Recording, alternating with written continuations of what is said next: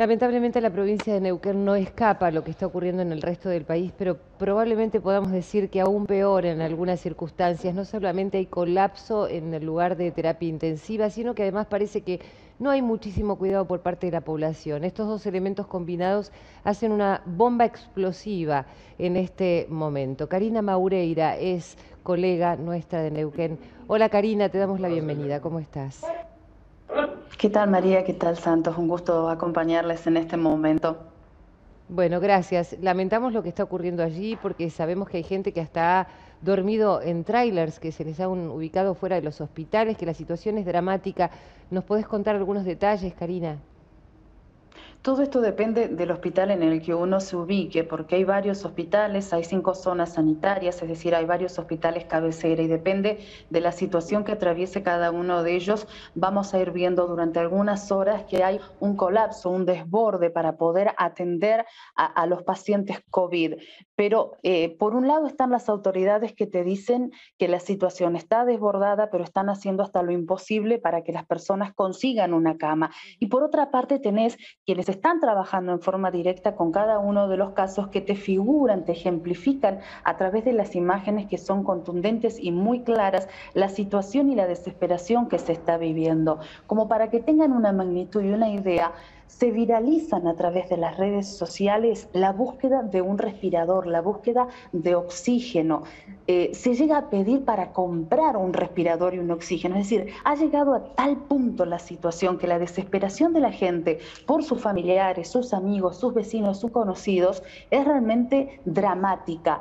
Y eh, a todo esto es importante destacar que no hay que, a ver, transformar esa realidad en algo como para poder llevar tranquilidad cierta, porque por una parte estamos frente a una situación colapsada y que es real porque las imágenes son contundentes, y por otra parte tenemos también la gente que está haciendo todo lo que puede y está a su alcance, que son las personas que trabajan desde el primer día en la primera línea, la de fuego, como solemos decir también los medios de comunicación, que son los médicos, los profesionales de la salud, los enfermeros, los que nos asisten diariamente.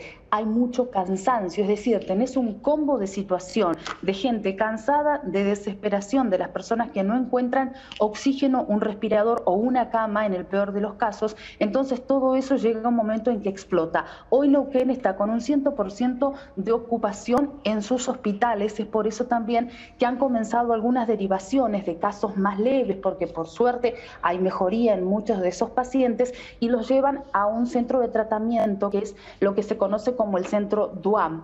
Eh, el resto de los hospitales está haciendo hasta lo imposible para poder atender a esas personas. Y es cierto lo que decís, por momentos hubo que atender personas tal vez fuera de los hospitales porque no había capacidad física también para que estuvieran todos juntos. Y por otra parte, destacar que hubo personas que tuvieron que permanecer en pasillos y en guardias. Esto colapsó el sistema, por ejemplo, del Hospital Heller, que es otro de los hospitales cabeceras en la mm, ciudad capital de Neuquén, y por horas la guardia permaneció cerrada porque realmente no se podía atender otro tipo de patología hasta que comenzaron las derivaciones de a poco y digamos que eso fue un respiro en las últimas horas. Este, Karina, ¿y ese centro qué es? ¿Es un centro médico este, donde están haciendo las derivaciones? El centro Duan es un centro de eventos que fue eh, ayornado, vendría a decirles, eh, con, camas, con respiradores, con médicos, y es donde se tratan eh, lugares, em, digamos, pacientes más leves. Es un, lugar de tratamiento, pero con sintomatologías mucho más leves. Pero es un lugar. Muchos se preguntan, ¿no hay hospitales modulares en Neuquén? Sí hay hospitales modulares, pero hay no en capital, donde hay mayoría de centros de complejidad, de seis en este caso. Hay tres hospitales y hay clínicas, pero está todo colapsado. Entonces, por eso es que muchos médicos hoy piden piden al gobierno la posibilidad de instalar un nuevo hospital modular, pero aquí en Neuquén Capital. Eh, Karina, ¿cómo es el comportamiento social allí? ¿Por qué crees que se ha dado tanta cantidad de casos y que ha colapsado el sistema? porque la gente se ha relajado, María, totalmente. Y eso lo vemos en muchos barrios de Neuquén, donde no es, eh, a ver, no es esto echar culpas a los comerciantes que son los que están pidiendo por favor, no más restricciones y déjennos trabajar, sino que hay que ser responsable al momento de salir de su casa, de juntarse. Las reuniones sociales fueron el foco infeccioso en la provincia de Neuquén en todas las ciudades, sobre todo en el norte. En el norte no había tantos casos y fue un disparador tremendo. Hace algunas semanas varias reuniones y varios encuentros camperos, como ellos lo llaman, donde disfrutaban de música del norte.